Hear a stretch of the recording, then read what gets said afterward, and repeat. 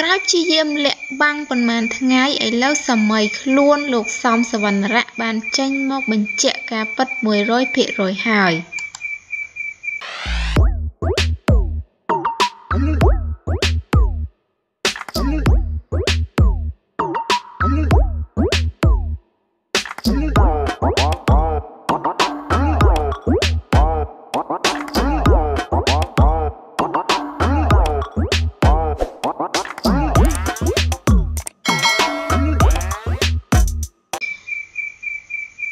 បងប្អូនទូរទស្សនិកជនជាទីគោរពចា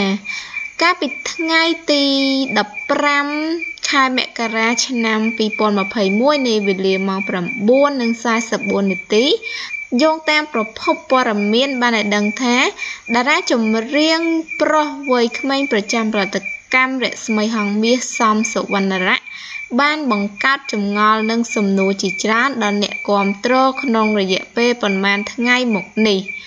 ពលគឺនៅក្រោយពេលដែលលោកបញ្ចេញរូបថតភ្ជាប់ពាក្យជាមួយតារាសម្ដែងស្រីអាងសុជីតា ជាច្រើនសន្លឹកអមដោយពាក្យពេចន៍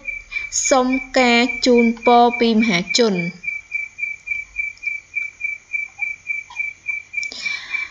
នៅពេលនេះសុវណ្ណរៈបានជំរះមន្ទិលរបស់មហាជនតាមរយៈការបង្ហោះបទចម្រៀងមួយបទភ្ជាប់ជាមួយនឹងសារដែលបញ្ជាក់ពីការពិតលើរូបភាពភ្ជាប់ពាក្យកាលពីប៉ុន្មានថ្ងៃមុននោះ។លោកបានប្រែទិដ្ឋភាពក្នុងថ្ងៃភ្ជាប់ពាក្យដែលអ្នកគាំទ្រខ្លះអាចយល់ច្រឡំថាជាការពិតនេះ មកជាសកម្មភាពថត MV មួយក្រោមចំណងជើងថាយំឲ្យធ្លាយមេឃសំសវណ្ណរៈ ពីម្សិលមិញខ្ញុំបានផុសរូបភ្ជាប់ពាក្យ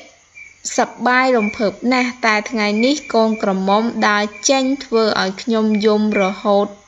តែធ្លាយមេឃបទយំឲ្យធ្លាយមេឃច្រៀងដោយលោកសំសវណ្ណរៈនិពន្ធទំនុកចម្រៀងដោយងិនម៉ានីយ៉ាត្រូវបានផលិតកម្ម រស្មីហង្សមាសគ្រោងចេញជា MV បន្ទាប់ពីចេញអូតូរីយ៉ូកាលពីថ្ងៃទី13ខែមករាតាមរយៈសកម្មភាពថតបទមួយនេះហើយដែលធ្វើឲ្យតារាចម្រៀងប្រុសរូបនេះមានឱកាស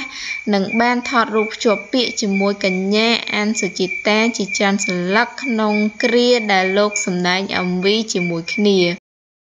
ចាប្រិយមិត្តបងប្អូនទាំងអស់គ្នា ពេលនេះសូមសន្តាប់ជាមួយនឹងបទរបស់លោក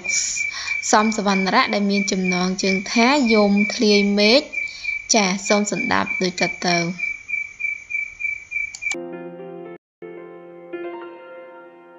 បោះជំហានលើភ្លឺធំធេងកំព្រាកុនដោយកុនដែងម្នាក់ឯងចិត្តអំពុលរែងខ្វាយខ្វល់សោយសោកសងរែងវង វែងអិនត្រើ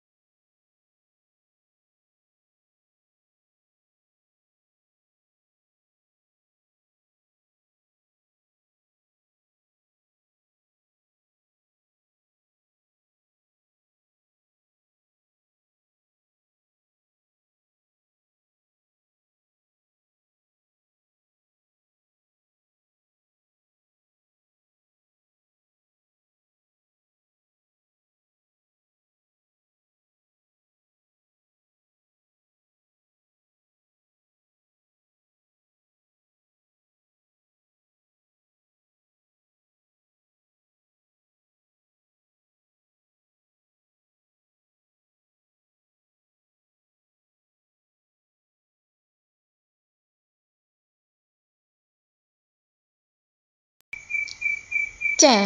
ចារាល់ចម្ងល់ទាំងអស់គឺបានបកស្រាយដោយសម័យខ្លួនផ្ទាល់ហើយបានចេញនៅបទចម្រៀង ដែលសម្ដែង MV នេះតែម្ដងអញ្ចឹងសង្ឃឹមថាបងប្អូន